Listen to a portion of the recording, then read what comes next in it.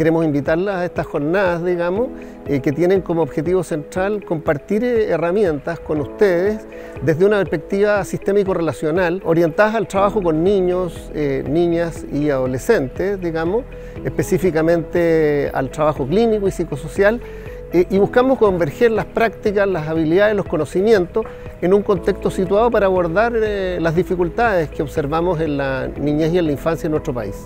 Nacemos de una red sistémica relacional infanto-juvenil que surge de la colaboración de académicos y docentes de las escuelas de psicología de la Pontificia Universidad Católica, de la Universidad de Valparaíso y el Instituto Humaniza Santiago.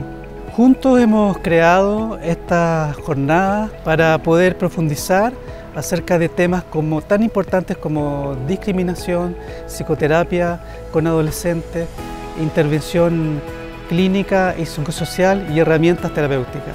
Queremos destacar el trabajo que se realiza directamente con familias, con los niños, con los adolescentes. Vamos a hacer talleres en paralelo. Cada uno de ustedes va a poder elegir un taller cada uno de los días que asista. Bueno, queremos invitarte a participar en esta jornada eh, en la quinta región, en Valparaíso, en Viña del Mar específicamente.